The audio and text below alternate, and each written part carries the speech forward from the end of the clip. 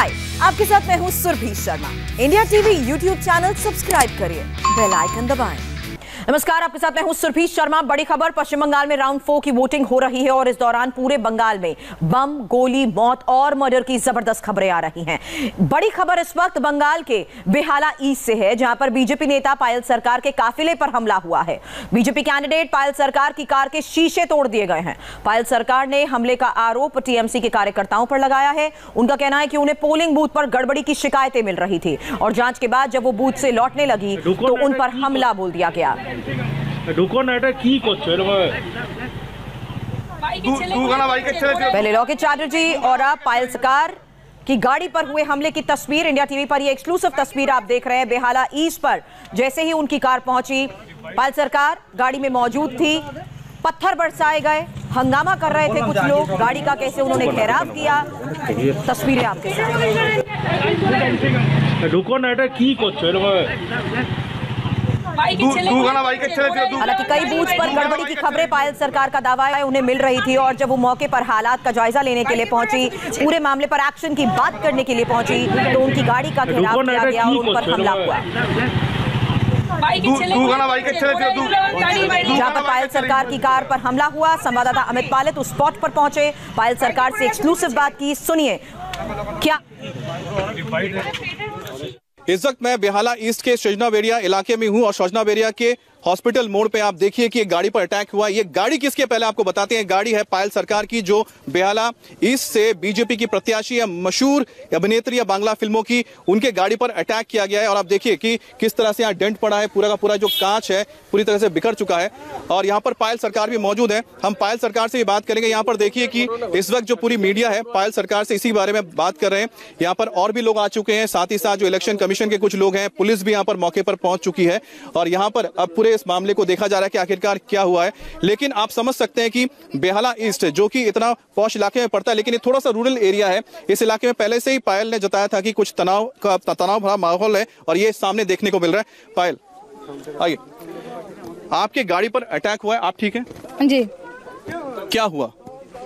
यहाँ हम लोग ये 303 और 304 बूथ विज़िट कर रहे थे। मैं यहाँ बार बार आ रही हूँ इसलिए क्योंकि यहाँ से बहुत कंप्लेन्स आ रहे हैं और ये सेंसिटिव बूथ्स है।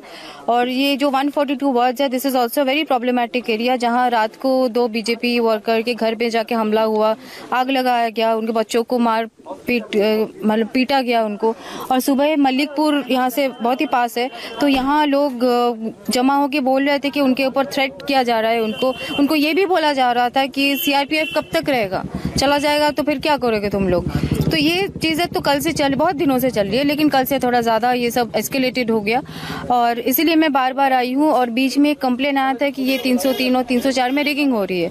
क्योंकि रत्नाचार्य जी यहाँ आके हमारे तीन जो वर्कर है, जो बूथ में बैठ रहे थे, उनके नाम पे केस कर दिया। तो हमें उनको रिप्लेस करना पड़ा उस वक्त। तो ये रिप्लेसमेंट के बीच में जो टाइम खाली था ये।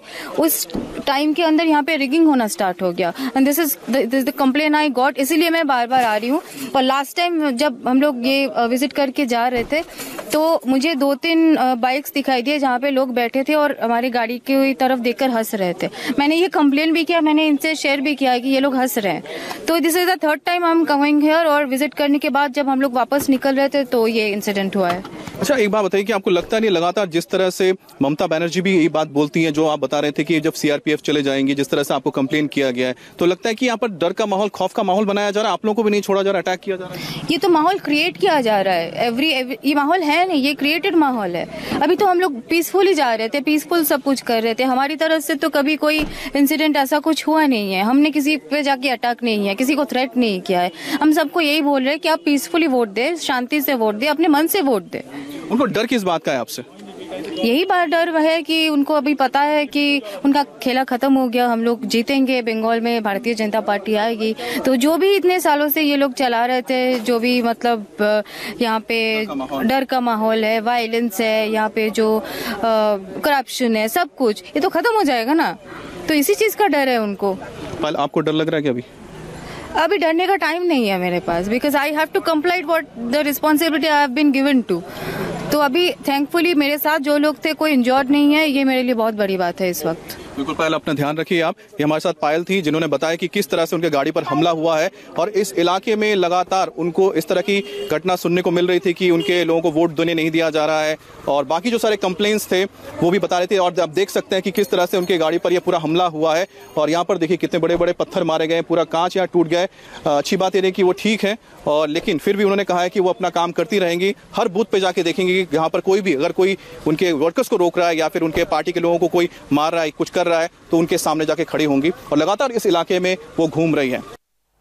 सवाल यह है कि आखिर बंगाल में हिंसा की राजनीति कब तक चलेगी? आज सिर्फ़ पायल सरकार के काफिले पर ही हमला नहीं हुआ बल्कि चिंचुड़ा से बीजेपी कैंडिडेट और सांसद लोकित चैटर्जी पर भी अटैक हुआ। कार के शीशे तोड़ दिए गए। यहाँ पर भी हमले का आरोप टीएमसी समर्थकों पर है। लौकित चैटर्जी को टीएमसी के वर्कर्स ने काले झंडे दिखाए। इस दौरान जब सुरक्षा बलों ने लोगों को रोकने की कोशिश की तो उनकी गाड़ी पर भी पत्थर फेंके गए। चैटर्जी को चोट भी आई है। संवाददाता पवन नारा ने रॉकेट चैटर्जी से की बात। उन्होंने हमले की पूरी कहानी बताई। रॉकेट चैटर्जी ने आरोप लगाया कि टीएमसी वाले बूथ कैप्चर कर रहे हैं और जब उन्होंने ऐसा करने से रोका तो उन पर हमला बोल दिया गया।